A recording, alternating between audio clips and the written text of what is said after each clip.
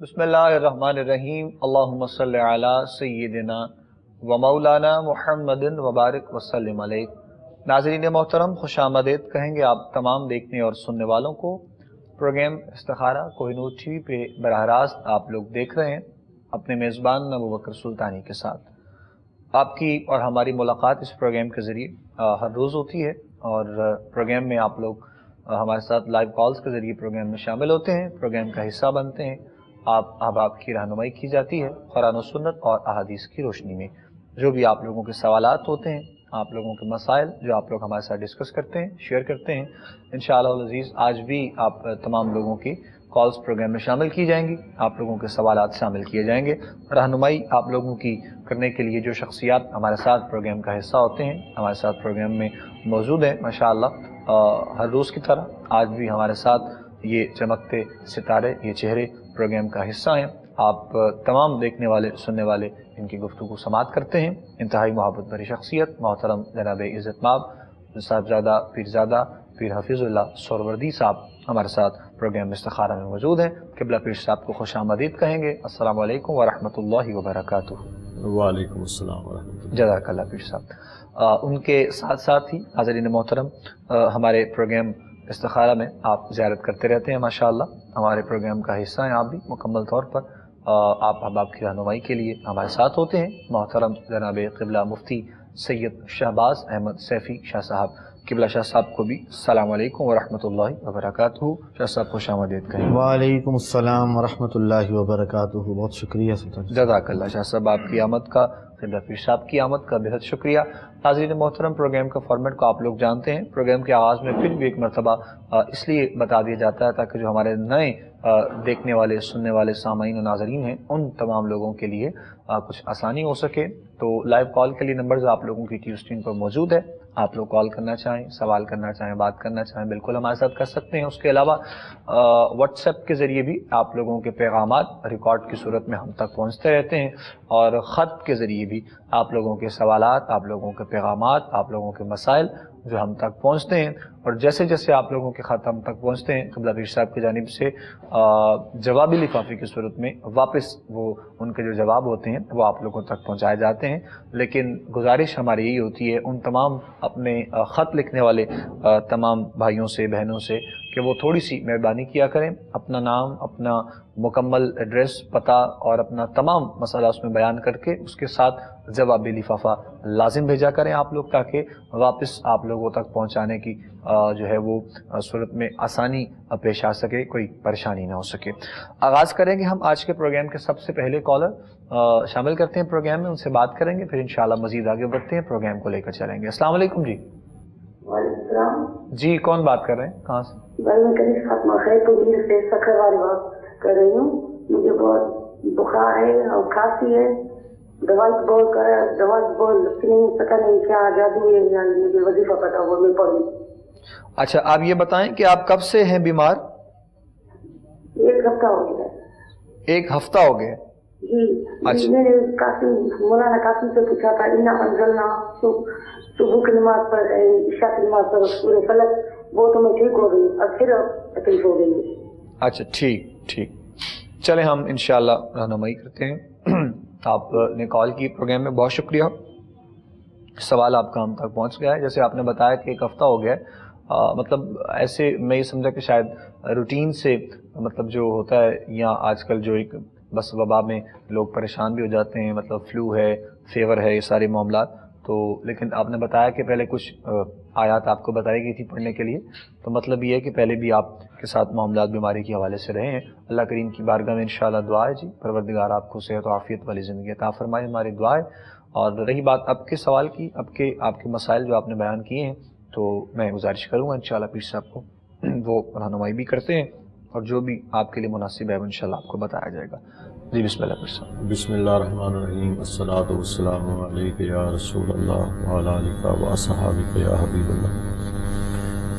बहुत शुक्रिया। मेरी बहन, जो आपने सवाल किया है, तीन दिन आपने सिर्फ़ ये अमल करना है, शहद ले लें और उस शहद पर सात सौ मरतबा बिस्मिल्लाह शरीफ पढ़कर आपने उस शहद को दम करना है और वो शहद आपने खाना है। ये तीन दिन अमल करना है। रोज़ाना सात सौ मरतबा पढ़ कर उस शहद को दम करें और सारा दिन थोड़ा थोड़ा करके आप खा लें। या एक ही दफ़ा लेके उसको तीन दिन दम कर लें। तो इन जो बुखार वगैरह या जो भी है वो इन ठीक हो जाएगी। चलें। जजाकल्ला जी। जवाब आप तक पहुँच गया जी, मेरी बहन, जो आपने सवाल किया अपने बारे में, और अभी भी दोबारा से मतलब कुछ आपको नया वज़ाइफ की सूरत में चीज़ें आप तक पहुंचाई गई हैं आप मेहरबानी करें इनको पढ़िएगा इन मेरे मालिक ने चाह तो मामला बेहतर होंगे। नेक्स्ट देखेंगे हम कॉल अस्सलाम वालेकुम। हेलो वालेकुम। अस्सलाम रहमतुल्लाह। जी। ये आपका टीवी पर प्रोग्राम देख रहे हैं वो नंबर हमने नोट किया था। जी। ये मैं नमाज़ पढ़ता हूँ। तो ये आगे टिपाई रख के मेरी टांग टूटी हुई है। क्या मसला है? मेरी टांग टूटी हुई है। अच्छा ठीक है। तो मैं अपने कुर्सी पे बैठ के नमाज़ पढ़ता हूँ आगे टिपाई या मेज वगैरह उसके ऊपर नमाज़ बिछा के नमाज़ पढ़ सकता हूँ। अच्छा ठीक। तो ये घोड़ा फोड़ नहीं होता ना ठीक है ठीक। चले हम इंशाल्लाह रहनुमाई करते हैं आपकी मेरे भाई। जजाकल्ला। किबला शाह साहब आपकी रहनुमाई भी करेंगे। और घुटने में आपने बताया कि जो टांग मतलब फ्रैक्चर है, टूटी हुई है, और वो फोल्ड नहीं होता है तो वो नमाज़ पढ़ने में थोड़ा दुशारी है। उसके लिए कुछ आसानी बता दें और वज़ाइफ भी कुछ इनकी सेहत याबी के लिए। मेहरबानी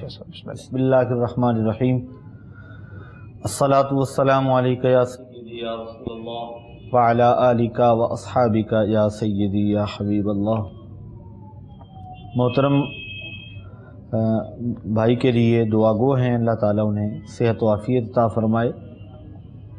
और बीमारी की कैफियत में नमाज़ का अहतमाम करना यकीनन ये सआदत की बात है। और नमाज़ किसी हाल में भी मुआफ़ तो नहीं है। अगर खड़े होकर नहीं पढ़ सकते, क़याम नहीं कर सकते तो बैठ के अदा करें, बैठ के नहीं अदा कर सकते तो लेट के इशारे के साथ पढ़ सकते हैं। और जो कैफियत आपने बयान की है, इस सूरत में आप कुर्सी पर बैठकर और यकीन जानिए कि ये जो कुर्सी पर बैठकर नमाज़ है, ये इशारे की नमाज़ के हुक्म में। बैठकर नमाज़ का हुक्म यह है कि बैठकर, जैसे हम अतियात में बैठती हैं, अगर इस तरह बैठकर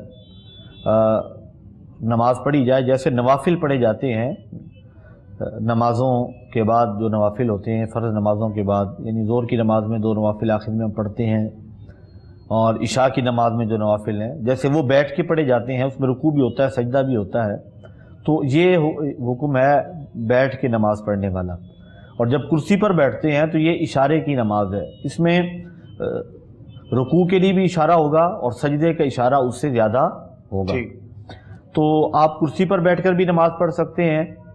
चारपाई अगर पाक है साफ़ है उसके ऊपर जाए नमाज़ आप पूछ रहे हैं बिछा लें बहुत अच्छा है। जाए नमाज़ बिछा लें, साफ़ चादर कोई बिछा लें जो पाक हो और चारपाई भी पाक हो और किबला रुख बैठकर आप जिस अंदाज में भी आप इजी समझें, आप बैठकर नमाज़ पढ़ें, अल्लाह रब्ज़त कबूल फरमाएगा और बीमार को इजाज़त है, रुख्सत है शरीयत मोहम्मदी वसल्लम में कि वो बैठकर और इशारे के साथ नमाज़ अदा कर सकता है। जजाकल्ला बहुत शुक्रिया शाह साहब। मज़ीद देखते हैं जी अगले कॉलर की जानी बढ़ेंगे। अस्सलाम वालेकुम सलाम। जी कौन बात कर रहे हैं? कहाँ से? मोहम्मद सरफराज सर। जी मेरे भाई बोलिए। भाईजान मौलाना साहब से ये सवाल था मेरा कि हमारी ज़मीन का थोड़ा सा मसला है। ज़मीन का? जी हाँ सर। अच्छा जी क्या मसला है बताइए। सर हमारी ज़मीन है बीस एकड़ हमारे रिश्तेदारों के साथ है बिल्कुल टच है। ठीक है। तो वो हमें थोड़ा सा रास्ता नहीं देते। उस ज़मीन में आबाद होने को। अच्छा जी। जी हाँ उसके लिए कोई वजीफा बता दें। वो किसके नाम है ज़मीन? सर हमारी अपनी ही जायदाद है नहीं वो आपके नाम है या वालिद साहब के किसके नाम है? मतलब मुकम्मल कोई सर वालिद साहब के नाम है। उनका नाम बताएँ। मोहम्मद सॉरी दिलजान। दिलशान ठीक। चलें ठीक है जी। इनशाला हम रहनुमाई करते हैं ज़रूर। सवाल आपका हम तक पहुँच गया है और जो आपके हक में बेहतर होगा इन उसके लिए दुआ भी होगी। बाकी इनशाला पीर साहब रहनुमाई भी आपकी कर देते हैं। सवाल उन्होंने आपका सुना है। जी, पीर साहब, बिस्मिल्लाह। इसमें मेरे भाई आप एक अमल करें और पहली बात तो यह है कि माशाल्लाह आप नमाज़ पढ़ते होंगे, हम उम्मीद रखते हैं सब पर। और अच्छा गुमान रखना चाहिए। अगर कोई कमी पेशी है तो आप उसको दूर करें, नमाज़ की पाबंदी करें। सूरत रहमान जो है, इसको आप रोज़ाना सुबह की नमाज़ के बाद तीन मरतबा पढ़ें। और जब आए, फ़बी अला रबी को माँ तो कज़िबान तो इसके साथ एक अजाफी दफ़ा पढ़ के, यानी तकरार दो दफ़ा करके, और जब तकरार करें तो आप उन अपने रिश्तेदारों का तस्वुर रखें जहन में। या अल्लाह उनके दिल में नरमी पैदा कर दे और जो आपके हकूक़ हैं, ये हक़ है, वो आपको मिल जाए। तो ये तकरार के साथ आपने तीन मरतबा सूरत रहमान पढ़नी है सुबह की नमाज़ के बाद। और ग्यारह दिन आपने इसको पढ़ना है इन अल्लाह ताला मुसबिबुलसबाब है और अल्लाह ताला उनके दिलों में रहम डालेगा और आप जो मकसद लेकर दुआ करेंगे, अल्लाह उसको पूरा फरमा देगा। जजाकल्ला जजाकल्ला जी। नेक्स्ट देखते हैं जी हम कॉलर अस्सलाम वालेकुम. वालेकुम अस्सलाम वरहमतुल्लाह जी. जी मेरा नाम राबिया है. जी बताइए. और मुझे ना तीन वीक से नींद नहीं आती रात में बिल्कुल भी. तीन दिन से? तीन वीक हो गए मुझे ना रात को नींद नहीं आती. अच्छा थ्री वीक्स हो गए हैं तीन हफ़्ते? तीन हाँ जी तीन हफ़्ते हो गए हैं। तो फिर डॉक्टर के पास गई उन्होंने मेडिसिन दी है। तो मेडिसिन लेती रही हूँ तो नींद आती रही है। तो अब जैसे वो दो वीक का उन्होंने कहा था कि मेडिसिन ले रही है तो मेडिसिन बस खत्म हुई फिर से वही रूटीन है नींद सारी खत्म जाती नहीं मतलब आपको बिल्कुल ही रात में नींद नहीं आती है या बस बेचैनी? भी तो फजर हो जाती है। हाँ। तो मैं सो ही नहीं पाती नींद आती नहीं है। ठीक ठीक ठीक। हाँ जी तो इस्तारा चाहते हैं पुरानी इलाज बता दें। क्या नाम है आपका? राबिया। और वालदा का? फरजाना। ठीक।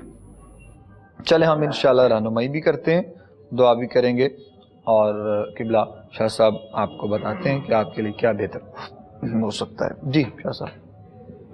नींद इंसानी सेहत के लिए ज़रूरी है। जी। बहन संदात में बता रही हैं कि नहीं सो पा रही तो ये बहुत ज़्यादा तकलीफ़ दह मामला है।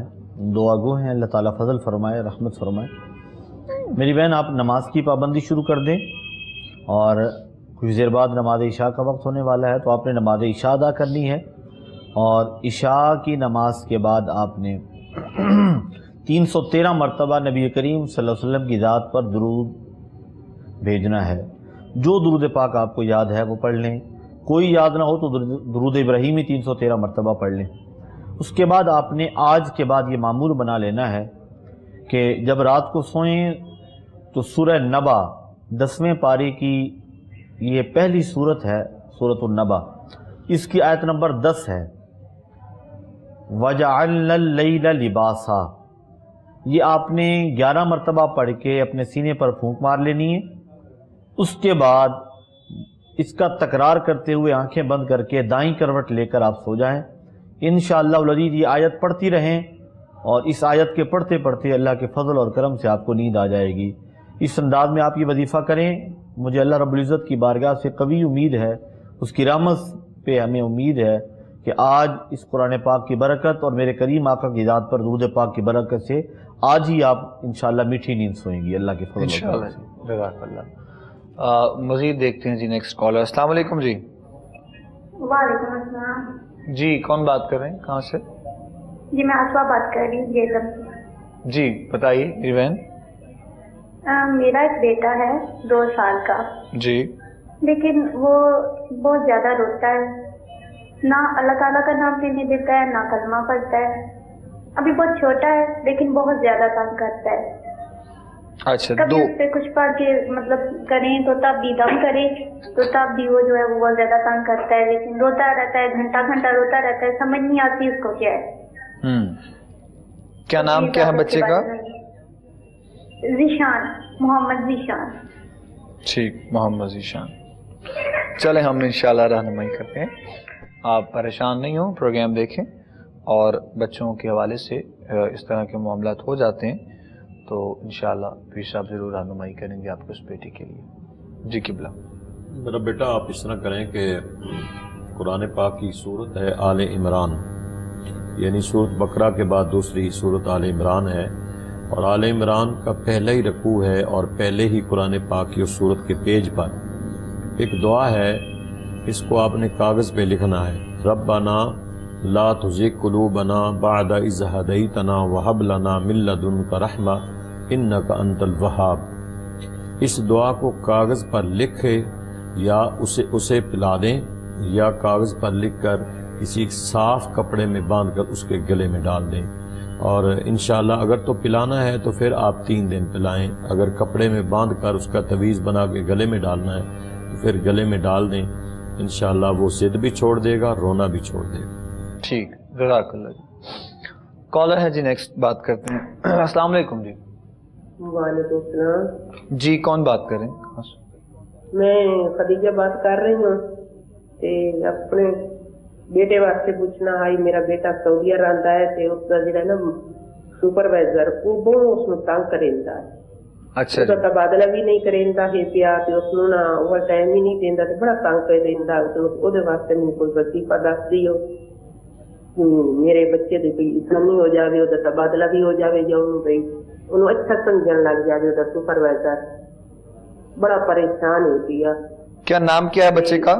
ਉਹਦਾ ਨਾਮ ਹੈ ਮੁਹੰਮਦ ਵਸੀਮ मोहम्मद वसीम ठीक ਤੇ ਮੈਂ ਆਪਣੀ ਬੇਟੀ ਵਾਸਤੇ ਪੁੱਛਣਾ ਹੈ ਭਈਆ ਮੇਰੀ ਬੇਟੀ ਦੀ ਸ਼ਾਦੀ ਕੀਤੀ ਹੈ ਤੇ ਜਿਹੜੇ ਨਾ ਸੱਸ ਸੁਸਰ ਜਿਤਨਾ ਵੀ ਉਹਨਾਂ ਨਾਲ ਅੱਛੀ ਹੋ ਜਾਵੇ ਨਾ ਫਿਰ ਵੀ ਉਹਨੂੰ ਅੱਛਾ ਨਹੀਂ ਸਮਝਦੇ ਪਤਾ ਨਹੀਂ ਕੀ ਆਪਣੇ ਪੁੱਤ ਨੂੰ ਕ੍ਰਿਸਚਨ ਤੇ ਫਿਰ ਉਹ ਆ ਕੇ ਆਪਣੀ ਬੀਵੀ ਨਾਲ अच्छा। रात दिन उन्होंने ताबेदारी भी करेंगे तो फिर भी अच्छा नहीं समझे तो। इस वक्त ही मैंने कुछ अच्छा। दस दी ठीक ठीक। मैं बड़ी परेशान हूँ। अल्लाह करीम मेहरबानी करे जी इनशाला हम्म। हमारी दुआएँ जी आपके साथ। और पहला जो सवाल आपने अपने बेटे के लिए किया सऊदी अरब में मतलब जो भी उनका कफ़ील है जो भी मामला हैं उसके साथ मसाइल हैं उस बच्चे के। दूसरा बेटी की हवाले से आपने सवाल किया है। तो मैं गुजारिश करूँगा इंशाल्लाह शाह साहब से वो दोनों के हवाले से जवाब देंगे। आप जवाब सुन लीजिएगा। आपके जो बेहतर है वो इंशाल्लाह बताया जाएगा। जी, किबला। बहन, आपके दोनों बच्चों के लिए मैं कुछ वज़ाइफ बता रहा हूँ। वो इन शुरू करेंगे तो अल्लाह ताला फजल फरमाएगा। जो बेटा सऊदीया में है, उसके मामला में भी अल्लाह तबारक ताली की तरफ़ से फजल हो जाएगा।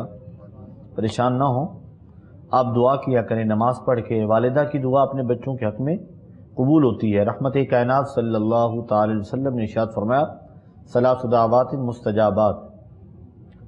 तीन दुआएँ ऐसी हैं जो अल्लाह कभी रद्द नहीं फरमाता। दावतुलमज़लूम दावतुलमुसाफिर व दावतुलवालिद वलद एक मज़लूम की दुआ, एक मुसाफिर की दुआ और एक वालदेन की अपनी औलाद के लिए दुआ। आप जब दुआ करेंगे इन अल्लाह ताला फजल फरमाएगा। वज़ाइफ में अर्ज़ कर देता हूँ, वो पढ़ें। बेटे से कहें कि या कहारो मुतद मरतबा, लिमिट कोई नहीं है।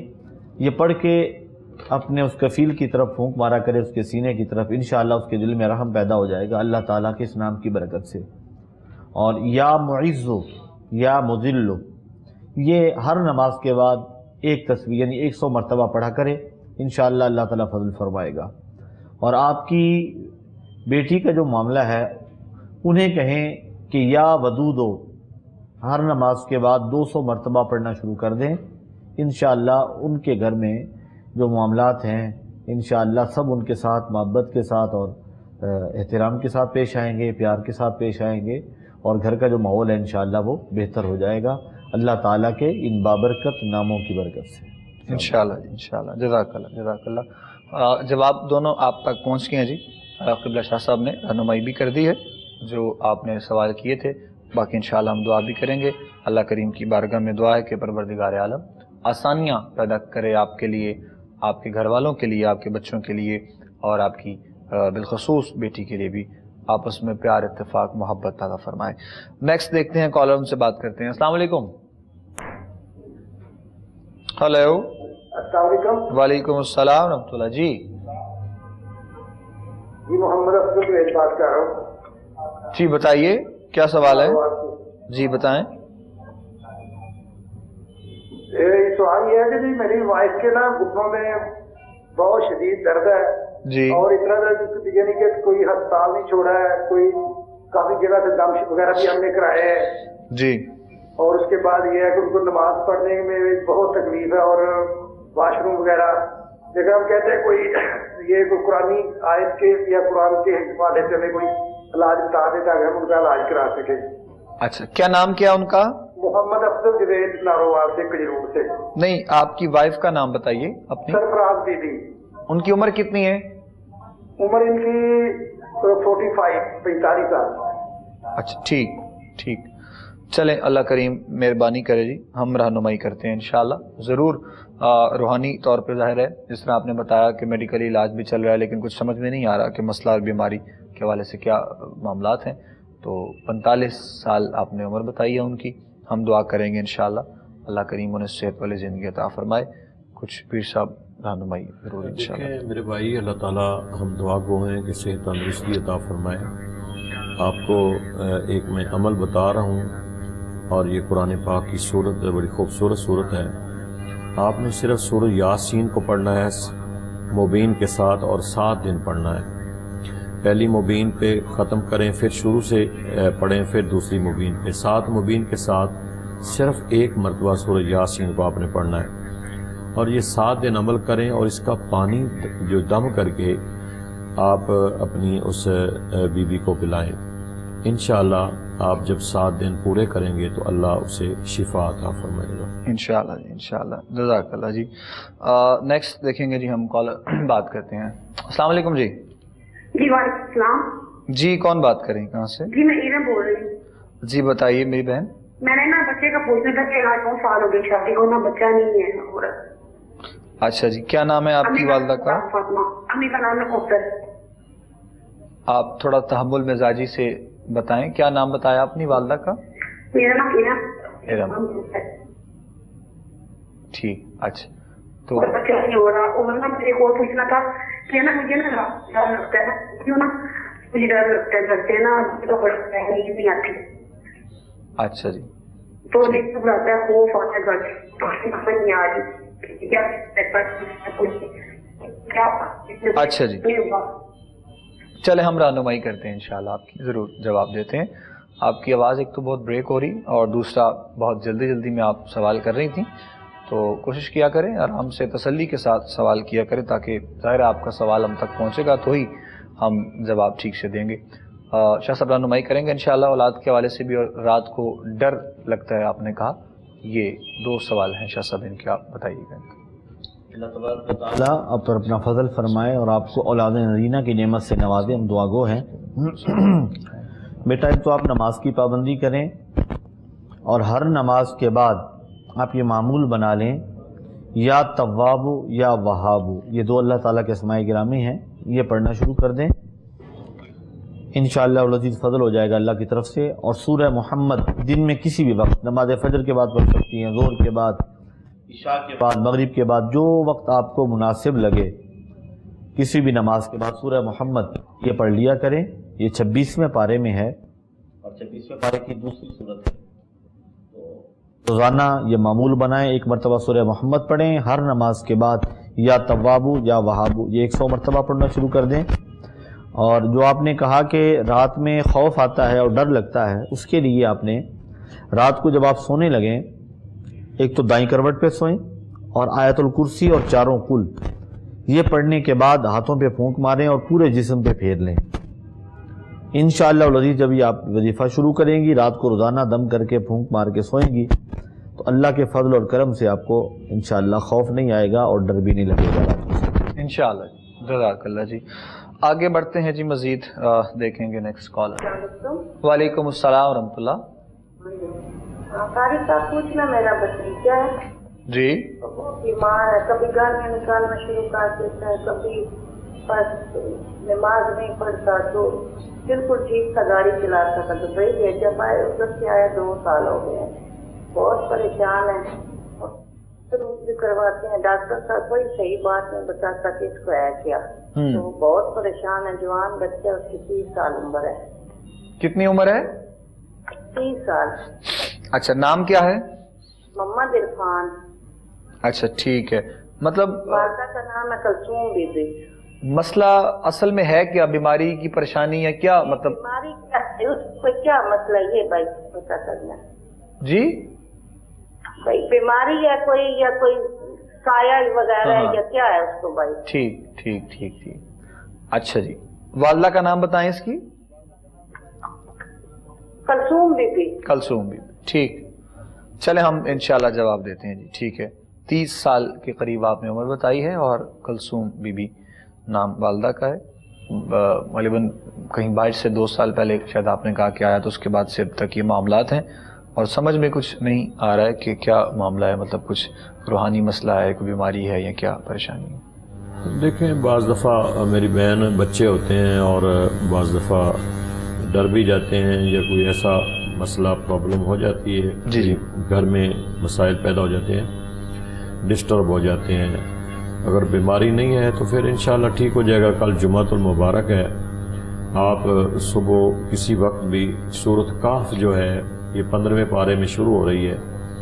आपने उसको एक मरतबा पढ़ना है और पढ़कर आपने बच्चे को दम भी करना है, पानी दम करके भी पिलाना है। ये आप कल अमल करें और उसके बाद आप सिर्फ़ सात दिन, एक सौ तीन मरतबा आउज़बिल्लाशैतान रजीम, ये पढ़कर बच्चे को दम कर दिया करें रोज़ाना। सात दिन आप ये दम करें और कल जुमातुल मुबारक सूरत का पढ़कर पानी भी दम करके पिलाएँ और उसे दम भी कर दें। इन बच्चा आपका ठीक हो जाएगा। इन जी नेक्स्ट देखते हैं जी कॉलर बात करें। वालेकुम अस्सलाम वरहमतुल्लाह जी। मैं सिर्फ़ बैतुलमाल से बात कर रहा हूँ। मेरा बेटा है तीस साल तीस साल का। जी। उसकी शादी के सिलसिले में बड़े परेशान है। तीन साल हो गए ढूंढते ढूंढते बेटा एम बी ए है और सऊदी अरब में मुलाजिम है। अच्छा। तो इस वजह से कोई खाता नहीं है। हम लोग बड़े परेशान हैं। आप इसके लिए मेहरबानी करें कोई ऐसा मुझे बताएँ जिसका कोई सिलसिला हो जाए। वालदा का नाम बताएँ। वालदा का नाम है नीरफा सदीकी ठीक। चले इंशाल्लाह हम रहनुमाई करते हैं जी दुआ भी करेंगे उस आपके बच्चे के लिए। अच्छी जॉब है सारे मामला हैं लेकिन रुकावट है शादी में और परेशान, ज़ाहिर है माँ बाप सब इस हवाले से हो ही जाते हैं बच्चों के रिश्तों के हवाले से। तो कुछ मोहतरम की भी रहनुमाई आप फरमाइए। प्यारे भाई, आप परेशान ना हो। अल्लाह ताला फजल फरमाएगा इन अल्लाह तबारक व ताली के यहाँ एक वक्त मुकर है और जो मेरे रब ने उसकी तकदीर में जो लिखा है इन वही होगा और बेहतर होगा अच्छा होगा। आपने करना यह है कि बेटे से कही है कि हर नमाज़ के बाद या फ़त्ताह तीन सौ मरतबा पढ़ना शुरू कर दें। या फ़त्ताह वो पढ़ें और वालिदा से कहें या समीयों की एक तस्वीर हर नमाज़ के बाद पढ़ें और साथ में दुआ करें। आप वालिद, आप भी दुआ करें और वालिदा से कहें वो भी दुआ करें। इन अल्लाह ताला बहुत अच्छा नेक और मुनासिब रिश्ता आपके बेटे के लिए अपने फजल और करम से अता फरमाएगा। परेशान ना हो, मायूस नहीं होना इन फजल हो जाएगा अल्लाह की तरफ़ से। इन जी जजाकल्ला जजाकल्ला जी। कॉलर देखते हैं जी नेक्स्ट अस्सलाम जी कौन बात करें? जी मैं अपना नाम नहीं बता रही मैं अच्छा। से बात कर रही हूँ। अच्छा जी तो बताइए। शादी को एक साल हो गए अभी औलाद नहीं कोई। तो कोई अच्छा। हिसाब से पूछ के बता दें। अच्छा ठीक है। वाला का बताएँगे नाम या वो भी नहीं? नसीम। अच्छा जी। एक साल हो गए शादी को। जी। ठीक। चले हम मेरी बहन रहनुमाई करते हैं इंशाल्लाह आपकी। जजाकल्ला बहुत शुक्रिया आपकी कॉल का। नंबर एक तो ये कि टीवी का वॉल्यूम आपका खुला हुआ था और खैर, आपने मुनासिब जैसे आपको लगा, आपने सवाल किया है अपने लिए। तो एक साल अभी हुआ है शादी को। कुछ आप थोड़ा सा तहमुल मिजाजी का भी मुजाहरा करें तो बाकी इन औलाद तो यकीन परवरदिगार आपको अता करेंगे, हमारी दुआ इन कुछ पिरसा भी रहनुमाई इस हवाले से करते थे। देखिए कुछ आ, मेरी बहन हमारे जनरल वज़ायफ भी होते हैं। अगर कोई नाम नहीं भी बताता तो कुरान पाक की सूरतें हैं वो पढ़ने से अल्लाह ताला मेहरबानी फरमाता है। आप ऐसा करें कि सूरत मरियम जो है ये मगरब की नमाज़ के बाद ये पढ़ा करें रोज़ाना। एक मरतबा पढ़ लिए करें। जब मगरब की नमाज़ पढ़ें तो उसके बाद सूरत मरियम पढ़ें और इसको आपने पढ़ते रहना है इन और जब आप पढ़ लें उसके बाद अल्लाह के हजूर में हाथ बुलंद करके आपने दुआ ज़रूर करनी है। अल्लाह रबालमीन इन करम फरमाएगा। जी। मजीद बढ़ते हैं जी आगे अपने अगले कॉलर के जाने अस्सलाम वालेकुम हेलो। हाँ जी वालेकुम अस्सलाम वरहमतुल्लाह टीवी का वॉल्यूम बंद कर दें आप प्लीज़ जरा। अच्छा जी। जी।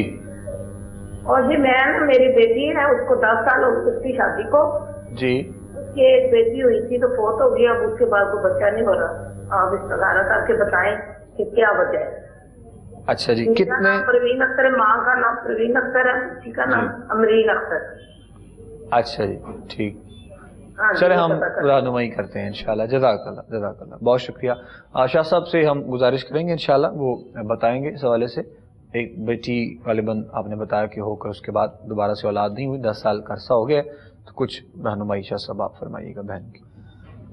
मेडिकली तो आप चेकअप करवाएँ और जो ट्रीटमेंट है वो तो आप करवाएँ और वो बेहतर है। जहाँ तक वज़ाइफ का ताल्लुक़ है तो मैं एक अल्लाह ताला के असमाय गिरामी अर्ज़ कर देता हूँ और वो दो असमाय गिरामी आप बेटी से कहें कि वो पढ़ें अल्लाह ताला इंशाल्लाह फजल फरमाएगा या खालिकु या मुसव्विरु। ये दो अल्लाह ताला के असमाय गिरामी हैं। ये पढ़ें और टाइम कोई नहीं है, जब वक्त मिले, जितना वक्त मिले, ज़्यादा से ज़्यादा इसे पढ़ें। चलते फिरते भी पढ़ सकती हैं। इन अल्लाह ताला के इन दो नामों की बरकत से अल्लाह तबारक व ताला आपकी बेटी को औलाद नरीना की नेमत से इन नवाजेगा।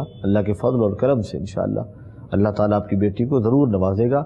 मायूस नहीं होना और अल्लाह तबारक व ताला का ज़िक्र और उसकी बारगाह में दुआ, ये मामूल रखें और ये दो असमाय गिरामी, या खालिक या मुसविर पढ़ते रहें। इन फजल हो जाएगा। जजाकल्ला जजाकल्ला जी। सवाल का जवाब पहुँचा दिया गया जी आप तक। किबला शाह साहब ने रहनुमाई की है। कुछ वज़ाइफ भी आपको बताए हैं और मेडिकली हवाले से भी कुछ इस तरह आपको बताया है। वो भी ट्रीटमेंट ज़ाहिर साथ जारी रखें इन अल्लाह करीम ज़रूर कोई ना कोई मेहरबानी करेंगे। आप हमें दोबारा से भी आगाह कीजिएगा। कि कुछ बेहतरी हुई तो फिर इन मज़ीद आपको बताया जाएगा। नेक्स्ट देखते हैं कॉलर अस्सलाम वालेकुम। वालेकुम अस्सलाम। जी कौन बात कर रहे हैं?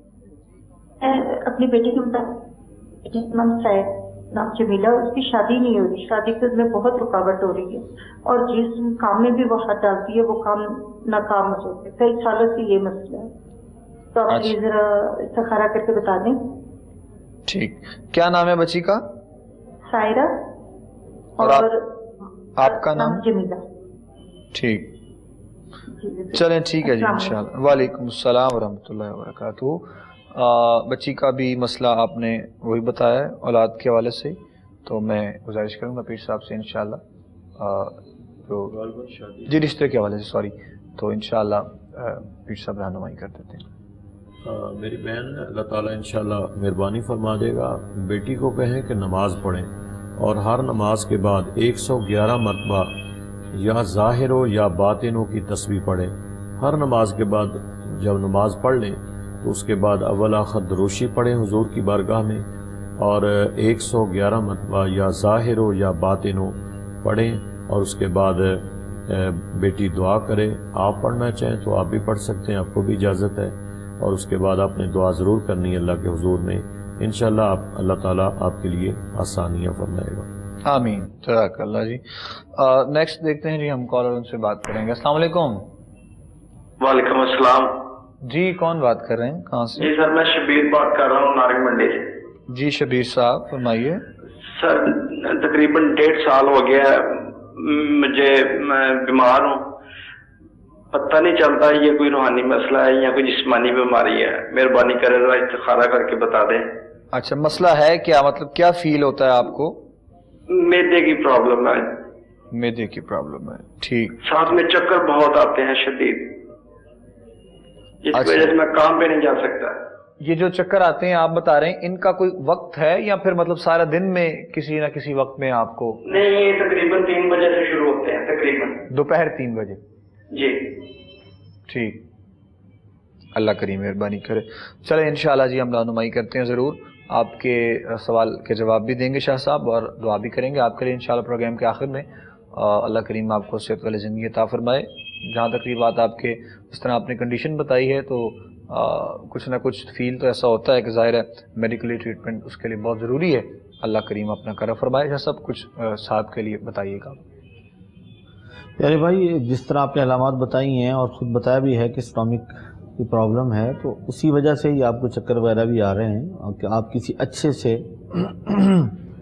है ना, वो जिगर और मैदे के स्पेशलिस्ट डॉक्टर से रबता करें और इलाज ज़रूर करें। उसके अलावा रूहानी तौर पे आपने सवाल किया है तो मैं अर्ज़ कर देता हूँ, आप वो अमल करें, उसकी बरकत से अल्लाह ताला आपको शिफा अता फरमाएगा। एक तो मेरे करीम अकल तयत वसना की सुन्नत के मुताबिक खाने का मामूल बना कि भूख रख कर खाएँ और खाने के बाद पानी पीने से बिल्कुल परहेज़ करें। पहले पानी के जितने घूंट पीना चाहें, पहले पी लें। दरमियान में अगर ज़रूरत हो अशद तो फिर पानी पी सकते हैं। बाद में पानी न पिए, भूख रखें थोड़ी सी और उसके अलावा आपने खाना खाने से पहले, मसनून एक दुआ है, मैं अर्ज़ कर रहा हूँ, वो पढ़ लिया करें। बिस्मिल्लाहिल्लज़ी ला यदुर्रु मास्मिही शैउन फिल अर्दि वला वहुव समीउल ये आपने तीन मरतबा पढ़ के, बिस्मिल्लाह पढ़ के आपने खाना खाना है। हर खाने से पहले, बल्कि जो भी कोई चीज़ खाने की या कोई चीज़ पीने लगे, आप ये दुआ तीन मरतबा पढ़ के फूंक मार लिया करें। इन लजीज़ जो चीज़ भी खाएँगे, वो जुज्ब बदन भी बनेगी और आपको इन अल्लाह तबारक वाली मेदे की तकलीफ़ से भी महफूज रखेगा इन आमीन आमीन। जजाकल्ला जी। नेक्स्ट देखते हैं जी कॉलर बात करेंगे। अस्सलाम वालेकुम जी कौन? बोल रहा हूँ जी। जी बताइए। मेरे जी पंद्रह सोलह साल से मेरे सर में दर्द रहता है आधे सर में। अच्छा और बहुत इलाज का है आराम नहीं आता हर दूसरे तीसरे चौथे दिन लग जाता है। कभी खाने से लग जाता है कभी पढ़ने से लग जाता है। और बहुत परेशान रात का मुझे लगा हुआ है अभी मैं लेटा हुआ हूँ। और गोलियाँ वगैरह ली हैं लेकिन आराम नहीं आ रहा मेहरबानी फरमाए किसी को बताएँ। अच्छा। चले इन रहनुमाई करते हैं आपके ज़रूर। आधे सर का दर्द है आपको और आ, इस हवाले से पीर साहब रहनुमाई किया करते हैं इन ख़ास तौर पे। तो आपकी भी कुछ ना कुछ ज़रूर रहनुमाई इन ये भाई कहाँ से बोल रहे हैं? जी गालिबन लाहौर से बाहर मतलब किसी शहर से। मेरे भाई आप जहाँ से भी बोल रहे हैं ये आधे सर का दर्द जो है इसका तीन दिन आपको दम कराना पड़ेगा। आप तशरीफ़ ले आए तीन जहाँ से मर्ज़ी हैं। तीन दिन का दम है, ये आप तीन दिन दम करवा लें आके। उसके बाद इंशाल्लाह सारी ज़िंदगी आपको ये दर्द नहीं होगा। चले अल्लाह करीम, मेहरबानी करे। पीर साहब फरमा रहे थे, जिसमें मैंने आपको बताया था कि बहुत से ऐसे आधे सर के दर्द के हवाले से अहबाब जो आते हैं तो अगर आप आसानी से आ सकते हैं तो आप बिस्मिल्लाह, वेलकम, आप आइए। तीन दिन का कोई दम है, वो आप करवा लें, फिर उसके बाद इन अल्लाह करीम में चाह तो मामला बेहतरी की जानब आ जाएँगे। बाकी जैसे आपका इंतखब हो अपना वैसे आप कर सकते हैं। हम दुआ करेंगे इंशाल्लाह आपके लिए। अस्सलाम वालेकुम। हेलो। वालेकुम। अस्सलाम वरहमतुल्लाह। जी। इमरान बात करो लाहौर से। जी इमरान साहब बोलिए। मैंने पूछा था जॉब में इज़्ज़त बढ़ाने का वजीफा बता देंगे। जॉब में? इज़्ज़त बढ़ाने का वजीफा। इज़्ज़त बढ़ाने का? इज़्ज़त इज़्ज़त। इज़्ज़त इज़्ज़त जी इज़्ज़त इज़्ज़त बिल्कुल। हाँ। अच्छा सैलरी बढ़ाने का ना बताएँ? जी जी। सैलरी बढ़ाने का। जी जी। अच्छा जी चलें ठीक है जी। बहुत शुक्रिया जजाकल मेरे भाई। वैसे मोहब्बत से मैं आपसे सवाल कर रहा था इज़्ज़त बढ़ाने का तरीक़ा और आपने पूछा है। अल्लाह करी मेहरबानी करे जी। जी शाह साहब क्या हो सकता है तरीका भाई साहब? जॉब की जगह पे इज़्ज़त बढ़ाने का सबसे बेहतरीन तरीका यह है कि जो ज़िम्मेदारी है, उसे सही मानों में अदा किया जाए।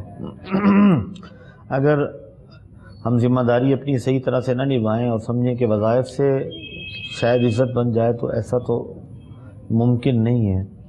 और हमें कोशिश ये करनी चाहिए कि अपनी ज़िम्मेदारी सही माने में अदा करें। और अल्लाह रब्ज़त इज़्ज़त देने वाला भी वही है और ज़िल्लत का मालिक भी मेरा अल्लाह है। इज़्ज़त और ज़िल्लत उसी के हाथ में है। आप करें ये कि हर नमाज़ के बाद व तो इज़्ज़ुमन तशा व तुज़िल्ल मन तशा, बियदिकल खैर इन नकाला कुल्लिश इन कदीर। कुरान पाक की आयत का ये हिस्सा आपने हर नमाज़ के बाद दस मरतबा पढ़ना है। इन अल्लाह रबुल्ज़त आपको आप सिर्फ़ जॉब की जगह पे कहते हैं, आपको अल्लाह ताला नमाज़ की पाबंदी आप साथ ज़रूर करेंगे। और ये वजीफ़ा करेंगे तो इन आपको जहाँ आप जाएँगे अल्लाह ताला आपको इज़्ज़त अता फरमाएगा इन इज़्ज़त आपकी होगी इन जजाकल्ला जजाकल्ला जी। कॉल लेंगे जी उसके बाद फिर दुआ की तरफ़ आएँगे बस। अस्सलाम वालेकुम। वालेकुम। सलाम जी। जी भाई का मसला मैंने पूछना है इस्तिखारा करवाना है। बताएँ क्या सवाल है? इस्तिखारा करवाना है इस्तिखारा किसके बारे में किसका इस्तिखारा करवाना है बताएँ? भाई भाई के लिए भाई का नाम बताएँ मेरे बेटा। बिलाल। वालदा का नाम? बिलाल। वालदा का क्या मसला है? हेलो हेलो वो ना मतलब काम में दिल भी नहीं लगा रहा है। अब बाहर चला गया हुआ उधर भी कोई मसला नहीं है मतलब। अच्छा जी चलें ठीक। ठीक है हम आपको जवाब देते हैं इंशाल्लाह। बहुत शुक्रिया आपके कॉल का। आप लोग कोशिश किया करें सवाल करके पहले कॉल करके फ़ौरन से सवाल किया करें वक्त ऐसे ज़ाया ना किया करें। और रही बात आपके भाई की तो इंशाल्लाह कुछ पीर साहब से गुजारिश करेंगे। रहनुमाई कर देते हैं आपके भाई के लिए कुछ काम में दिल लगाएँ और घर वालों के साथ ख्याल प्यार मोहब्बत के साथ। मेरा बेटा अपने भाई को जहाँ भी हैं उन्हें ये कहें कि एक तो नमाज़ की पाबंदी करें और दूसरा, सुबह की नमाज़ के बाद एक मरतबा सूर यासीन की तिलावत करें। इन उनका दिल भी करेगा काम करने को और वो काम भी करेंगे। नाज़रीन, मोहतरम प्रोग्राम इस्तारा आप लोग देख रहे थे। बर रास्त अपने मेज़बान अबू बकर सुल्तानी के साथ और प्रोग्राम का वक्त हमारा अख्ताम के जाने पहुँच चुका है। आखिर में इंशाल्लाह हर रोज़ की तरह दुआ होगी। हमारे साथ तमाम देखने वाले, सुनने वाले दुआ में शामिल हो जाएँ। किबला पीर साहब और किबला शाह साहब की आमद का बहुत शुक्रिया। और हमारे साथ रहेंगे इंशाल्लाह ये अल्लाह करीम इन्हें भी सेहत आफियत वाली ज़िंदगी अता फरमाए। पीर साहब दुआ फरमाएँगे, हमारे साथ दुआ में शामिल हों और हम आपसे इंशाल्लाह मुलाकात करते रहेंगे।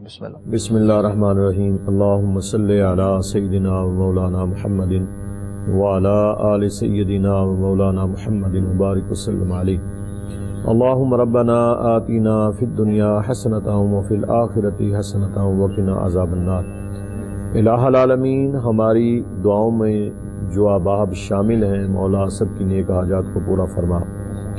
जितने भी सवालात के ज़रिए हमारे प्रोग्राम में शामिल होते हैं, शामिल हुए हैं, मौला जो जो सवाल किया है, हर एक सवाल को अपनी बारगाह में कबूल फरमा। जो मुश्किलात में हैं, उनकी मुश्किलात को आसान फरमा। जो परेशान हाल है, उनकी परेशानियों को दूर फरमा। जो बीमार हैं, उन्हें शिफा काम अता फरमा। इलामीन जो बे औलाद हैं, उन्हें साहिब औलाद बना। जो माँ बाप अपने बच्चों के रिश्तों के बारे में परेशान हैं, परवरदिगार आलम सदक़ करीमा का सलात वसलाम का उनके लिए बेहतर से बेहतर असबाब पैदा फरमा। जितने कलमा गो दुनिया से जा चुके हैं, सबकी बख्शिश व मगफिरत फरमा। या अल्लाह, पूरी उम्मत की खैर फरमा। वल अव्वल, वल आखिर व ज़ाहिर, वल बातिन। वाह बिकुल शैन आलिम। समीना व तोना फ़रान रबना व इलैकल मसीर।